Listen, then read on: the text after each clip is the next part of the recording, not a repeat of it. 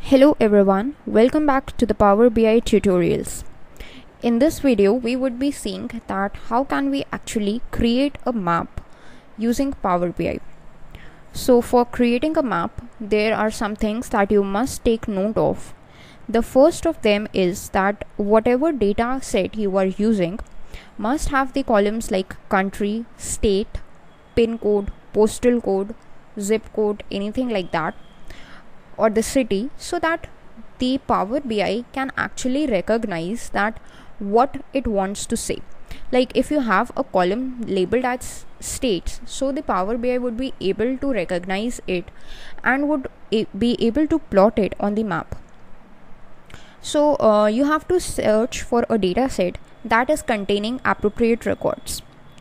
So the question might come to your mind that from where you can get a data set like this so I have um, uh, downloaded a simpler data set from the uh, internet itself.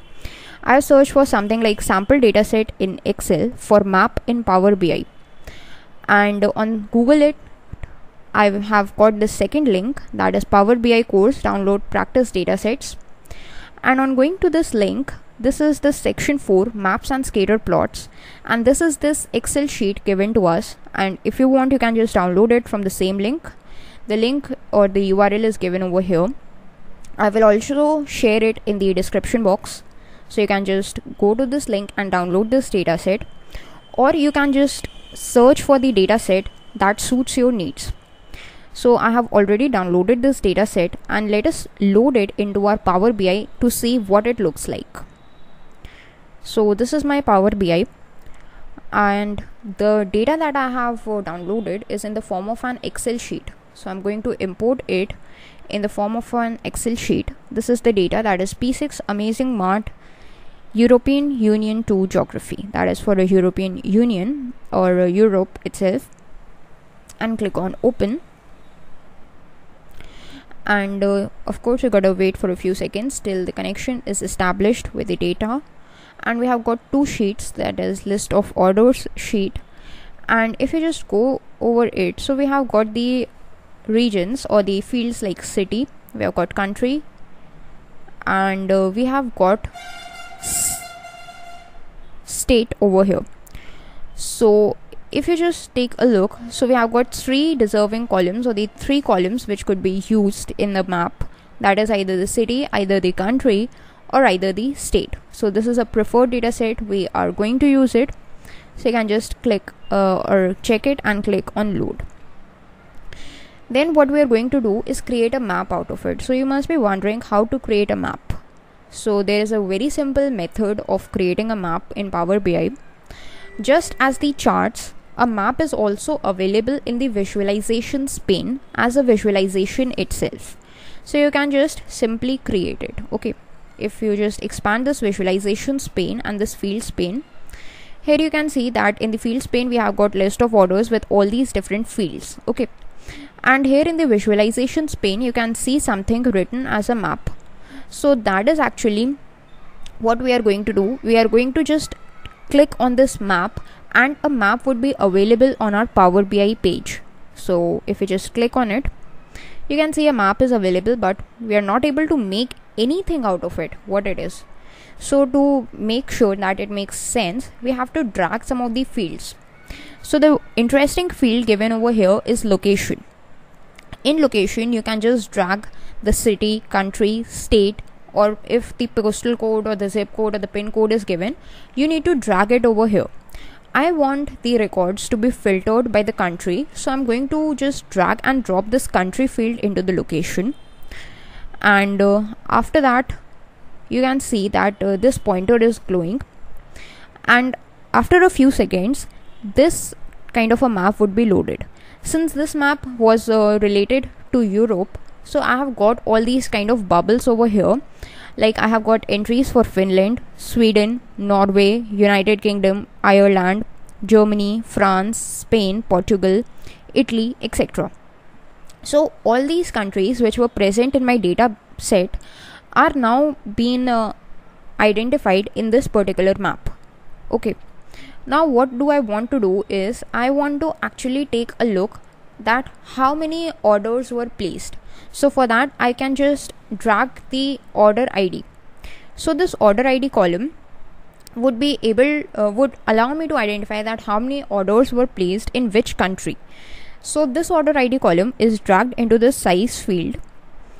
And uh, after a few seconds you can see that the size of the bubbles is now distorted. In france we have got a bigger bubble and if we just hover over it there is a tooltip with count of order id that is 991 meaning a total of 991 orders were placed from france. If we go to uk 700 orders were placed. Then there is a smaller bubble in Norway because 37 orders were placed.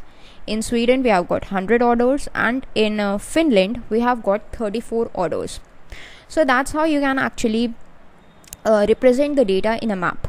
One of the advantages of representing the data in a map is that you are able to interact with it in a better way. If you're showing this data to any of your clients or to your customers, they are going to be attracted more by a map rather than by a normal table or a chart okay now there is one more thing. We have got a legend column. So luckily we have also got a region column in our data set. So if you want you can just drag this region into the legend and what would happen is now you have got colored dots. Like this dark blue for the north region the central region is colored by a lighter shade of blue and orange is what is representing the south region. So if you want the different regions to be highlighted on the map you can do that as well now one more thing that uh, right now it is a um, location that is used to represent uh, the country is used to represent the location. But if you want cities to be represented you can just uh, drop this column and you can just drag the city column over here. And after a few seconds you would be able to see the different cities being uh, mapped over here so you gotta wait for a few seconds. And yes you have got all these cities present over here but it's actually not looking very good because we have got these different cities stacked all over the place because the cities name are identical. Okay so we cannot get city uh, for a very accurate database. So let's just drag state and see what happens. Right now so yes state is uh, pretty more accurate than the city so you can see the states over here. And if you want to have a bigger look at it you can just go to the focus mode and you can just minimize the visualizations and the fields pane to get a better look at it. But uh, there is actually one more thing that is of zooming. Right now it is set at the zoom level. But what if you want to control the way the zooming occurs in the map? So you can do that uh, by using this visualizations pane and formatting the way the map looks. So you need to go to this format tab. And uh, if you just go to this map controls here we have this zoom buttons option which is currently uh, set to off. But if you click on on then you get these two zoom buttons the plus and the minus one. You can just zoom in uh, suppose I have zoomed in into Germany and I can see these different states which have been highlighted.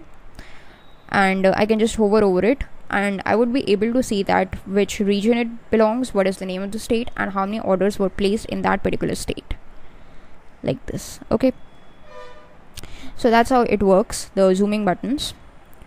Now there is one more thing in map. Uh, like you all must have used google map so there are different options available in the google maps. Like there is this 3d mode there is this street mode. So what if you do not want this uh, uh, plain looking way for the map and you want to change the way it looks? So you have got this option of map styles and visualizations for yourself.